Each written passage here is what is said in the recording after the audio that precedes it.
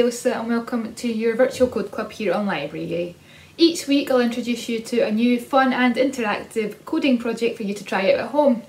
First we'll revisit our beginners code club block before moving on to our more advanced block.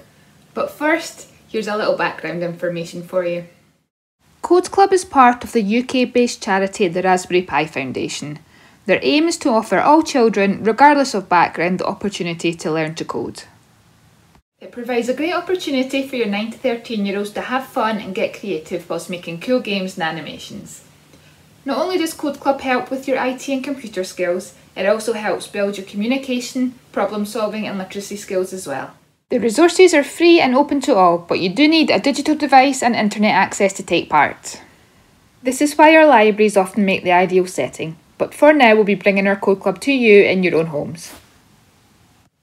For each Code Club, I'll introduce you to your project, link you to your step-by-step -step instructions, and I'll be on hand to help you if you get stuck along the way.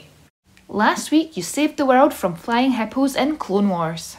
You learned how to make sprites move using keyboard input, how to clone your sprites and make copies of them, and how to broadcast and receive blocks to send messages. This week is Create Your Own World, where you'll create your very own adventure game with multiple levels to explore. In this project, you'll learn to use variables to store a game's state, to use lists to store data, and to use conditional selection. You'll find a link to your full instructions within this post and remember to use the comments field below to let us know how you're getting on.